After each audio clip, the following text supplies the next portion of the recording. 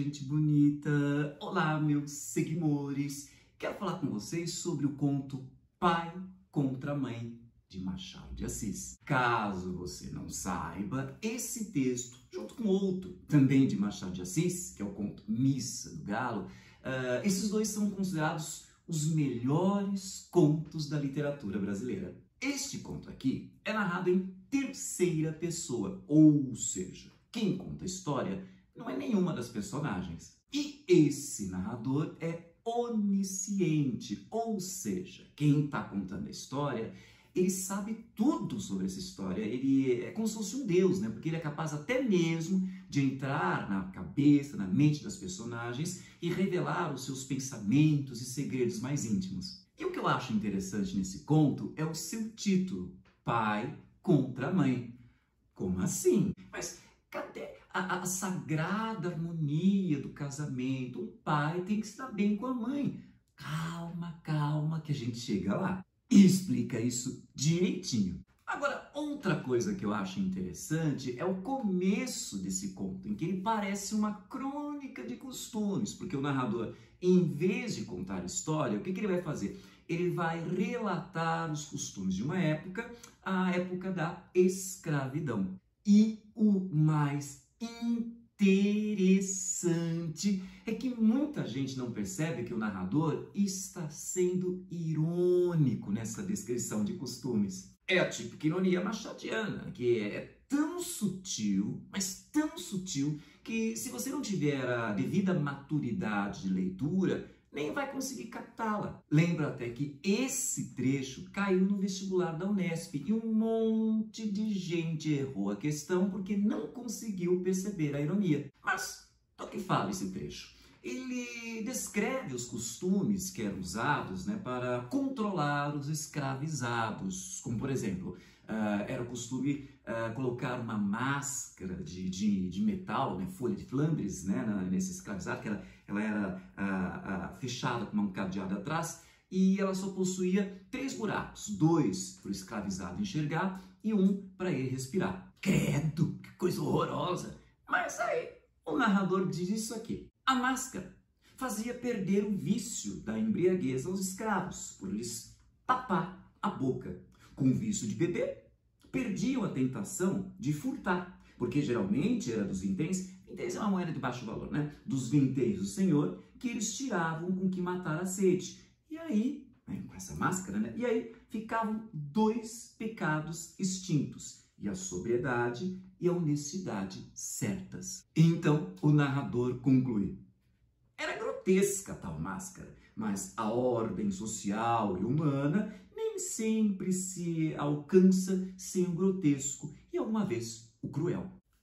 Eu tô lendo Machado de Assis ou aqueles, aquelas postagens do esgoto do Twitter. É lógico que o que a gente acabou de ler é ironia do Machado de Assis em relação aos costumes violentos dessa época e pior, costumes violentos que acabaram normalizados. E depois dizem que Machado de Assis deu as costas para a causa negra.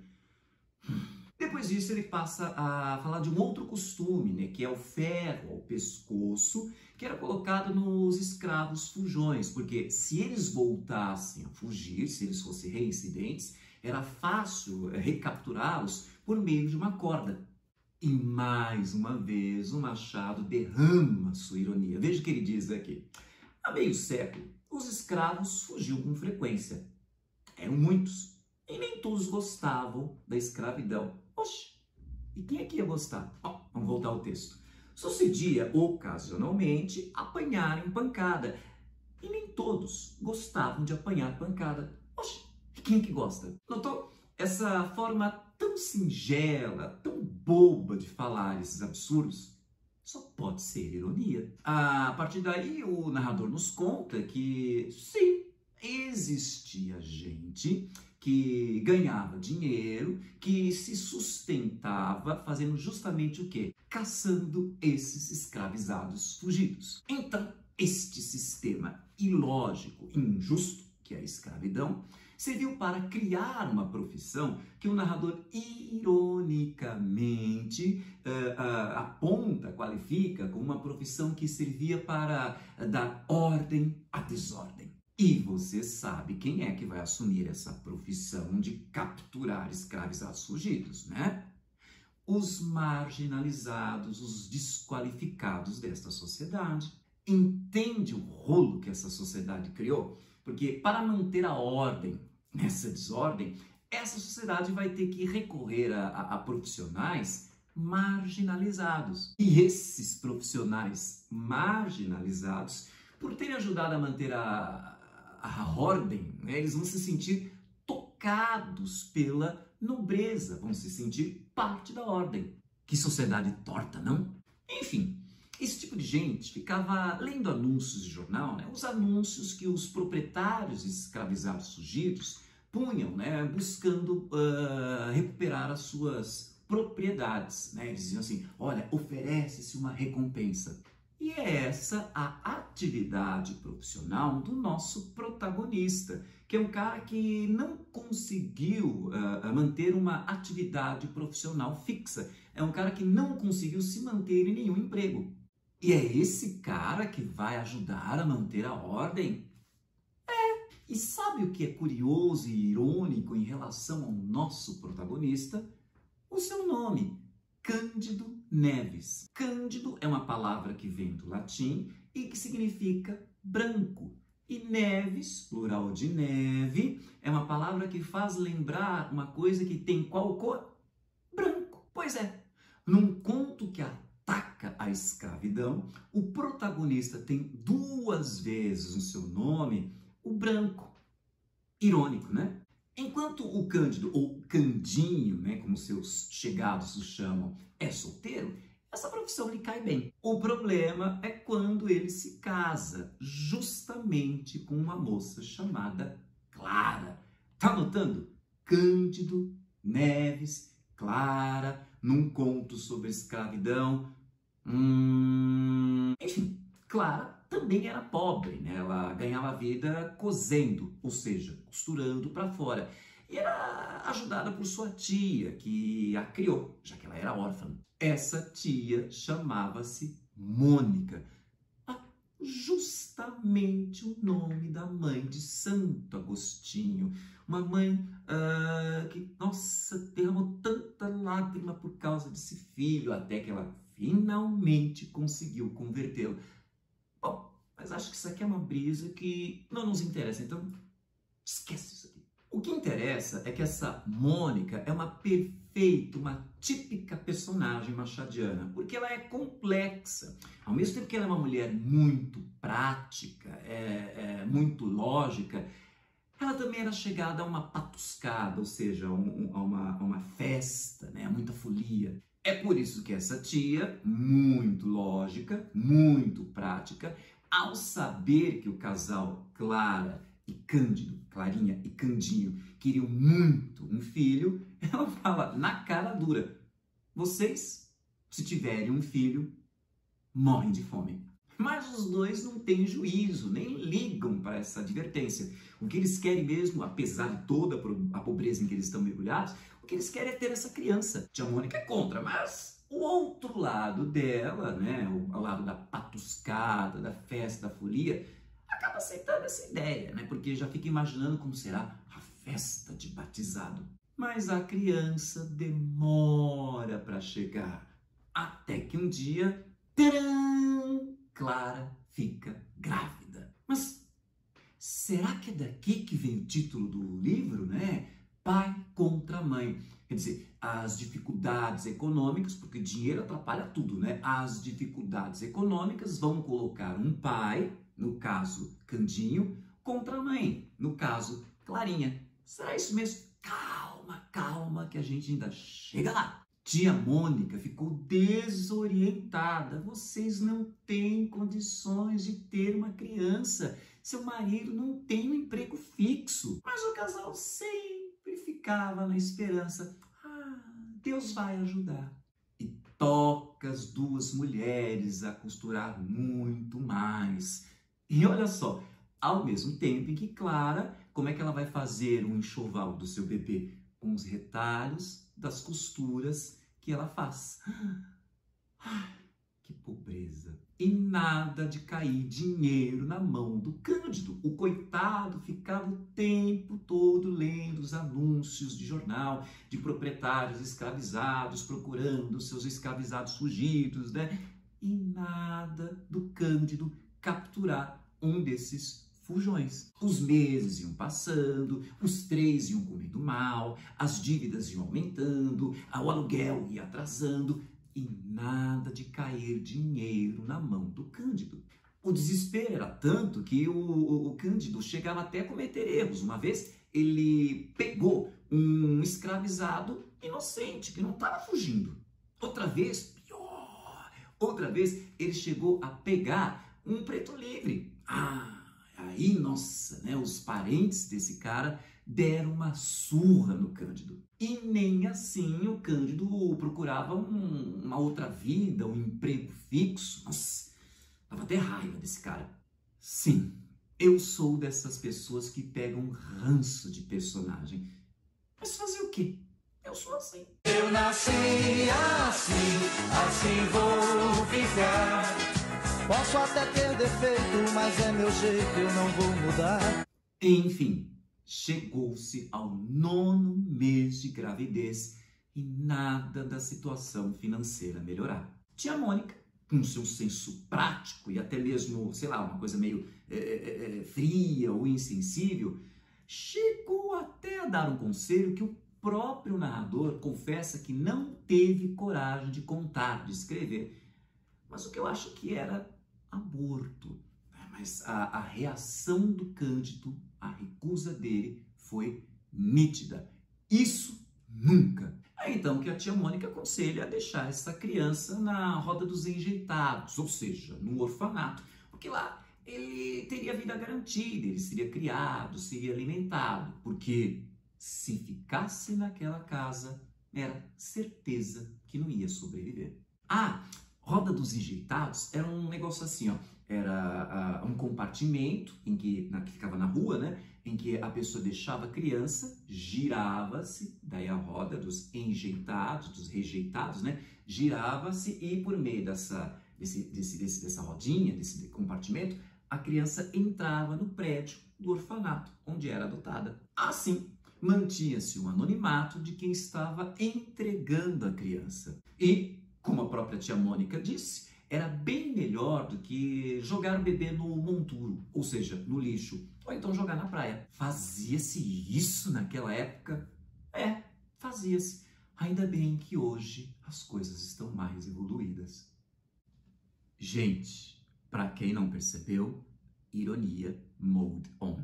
E a tia Mônica ainda fala que quando a situação deles melhorasse, eles poderiam ter outros, tantos outros filhos que receberiam o carinho que eles queriam tanto dar para esse primeiro, mas que não tinham condições. O pior é que, mal Cândido recusou esse plano, aparece o dono da casa cobrando aluguel e deixou um ultimato vocês têm cinco dias para quitar essa dívida. Ou quitam essa dívida nesse prazo, ou rua. Quatro dias se passaram em que Cândido desesperadamente tentou capturar algum escravizado. Inútil. É aí que ele tenta recorrer ao empréstimo e não consegue. Tenta então recorrer ao empenho, ou seja, tenta a ajuda de alguém que tem influência sobre o proprietário da casa dele, né? Para ver se ele, ele é, ficasse mais bonzinho e desse mais prazo para pagar a dívida. Inútil. Todas as pessoas que ele consultava diziam: Olha, você só tem uma opção: mudar-se. Mas mudar-se para onde? Só se for para a rua. Sabe o que é pior? A tia Mônica já tinha um plano B ela já havia arranjado um lugarzinho na casa de uma mulher rica. Na verdade, era um quartinho nos fundos de uma cocheira. E eu, que gosto de brisar, já comecei a pensar: criança para nascer, fica nos fundos de uma cocheira, que é quase uma manjedora. Para, para, para, para. Tá bom, tá bom, já parei, parei, parei de brisar. Enfim, A tia Mônica já tinha um plano B, mas ficou caladinha, porque ela achava que a, a, a necessidade, a emergência ia, ia, provocar um aperto tão grande no Cândido que iria fazê-lo acordar para a vida e finalmente iria fazer ele entrar na linha e arranjar um emprego decente. Que nada! O prazo venceu e eles foram morar no tal do quartinho. Dois dias depois, nascia a criança um menino. Mas a tia Mônica insistia: mande essa criança para o orfanato, vocês não têm condições de criá-la. Se ela ficar aqui, ela vai morrer. Cândido, mais uma vez, mergulha desesperado no jornal à, à procura de alguma novidade nos, nos anúncios de escravizados fugidos. É aí que ele vê um anúncio interessante de uma escravizada, Arminda, uma mulata fugida, para a qual se oferecia uma grande quantia em dinheiro. Ele então sai à procura dela, né, desesperado, né, como você já sabe, mas nada. Era como se ela tivesse evaporado. Enfim, Cândido se viu obrigado a cumprir com seu destino inevitável, entregar o seu filho tão amado tão querido para o orfanato. É aí que, enquanto ele vai se arrastando para o orfanato, meio sem vontade de entregar o seu filho, que ele vê quem ali na rua? Arminda, desesperado, deixa o filho numa farmácia, oxe, corre atrás da mulher e a captura. É aí que entra em ação a típica literatura machadiana, que é extremamente cruel nos seus detalhes. Cruel, mas não porque o autor é maligno, Machado é do mal. Não. Ele apenas está mostrando que a vida é assim mesmo. Arminda, desesperada, pede piedade para Candinha, né? Porque ela não quer voltar para o seu proprietário, porque esse cara é, é muito malvado, vai espancá-la. Ela até se oferece para ser a escravizada dele. Mas Cândido nem liga. O que ele quer é garantir o seu bem-estar. Nem que para isso ele tenha que provocar o mal-estar da Arminda. É aí que ela fala, para ativar a piedade de Cândido, que está grávida. Meu Deus! Olha aí o título do conto explicado. E que surpreendente!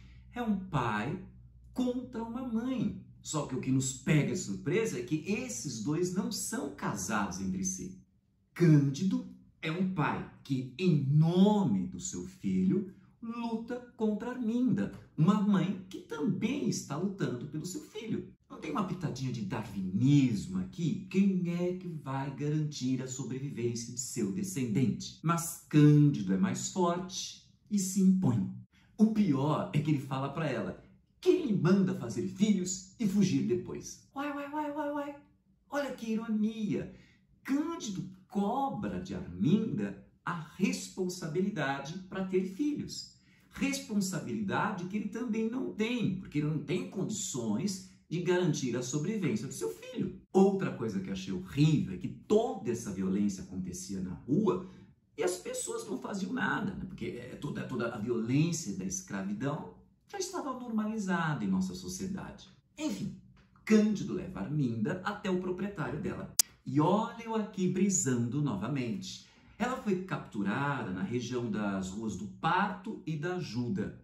Tá percebendo a mensagem subliminar, a mensagem que está aqui nas entrelinhas? E ela foi entregue na região das ruas do Urives e da Alfândega. Notou a oposição? Lá nascimento e caráter humano.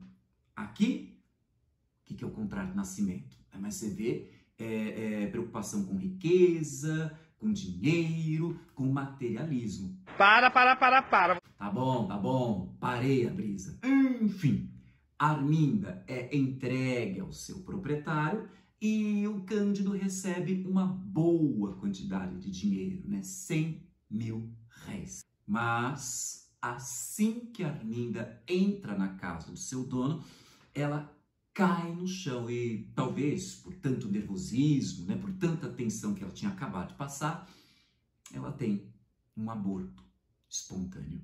Cândido viu essa cena horrível, mas nem se preocupou. Ele estava preocupado em pegar de volta seu filho que ele tinha deixado na farmácia. Depois ele chega em casa e acalma a tia Mônica, que viu a criança voltando. Mas como é que ele acalma? Com dinheiro. Tanto que ela começa a falar mal da Arminda, né? criticando-a por ter fugido e ainda a responsabilizando pelo aborto. O final é bem machadiano. Vejamos aqui. Cândido Neves beijando o filho entre lágrimas verdadeiras, abençoava a fuga. Jesus do céu! Veja, enquanto a tia estava falando mal, ele estava abençoando, né? Eu estou achando uma coisa positiva numa desgraça. Veja, abençoava a fuga e não se lidava, quer dizer, estava nem aí, né? E não se lidava do aborto, quer dizer, não estava nem aí para o aborto. Nem todas as crianças vingam, vingam quer dizer, sobrevivem, né? Nem todas as crianças vingam, bateu-lhe o coração. Essa crueldade é tão machadiana porque o, o, o Machado eh, fala essas coisas ruins, pesadas, bem pessimistas, repito, não por maldade, mas é porque a vida é assim mesmo, uma mistura de darwinismo, né? quem sobrevive é o mais apto, uma pitadinha de Hobbes também, né? lembra do homem como lobo do homem. Se para sobreviver, temos que passar a perna no outro, né? puxar o tapete do outro.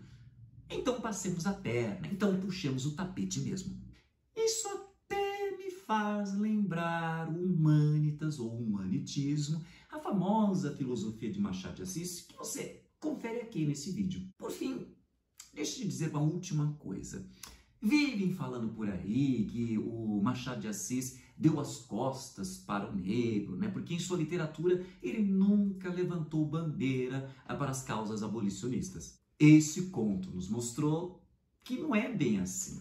É que uh, uh, o Machado ele colocou essa, essa questão numa problemática mais ampla da sordidez humana, do caráter indecente do ser humano. Enfim, esses são os elementos mínimos que eu queria que você tivesse em mente com relação ao conto Pai contra Mãe de Machado de Assis. Espero que tudo que eu tenha falado tenha sido útil. Se você gostou, curte aí. Deixe o seu comentário nesse vídeo e compartilhe em suas redes sociais, porque conhecimento é para isso mesmo, é para ser compartilhado. Ah, e não se esqueça de se inscrever em nosso canal e de ativar o sininho para ficar sempre sabendo de nossas novidades. Um beijo, ou de pai ou de mãe, e até o nosso próximo encontro.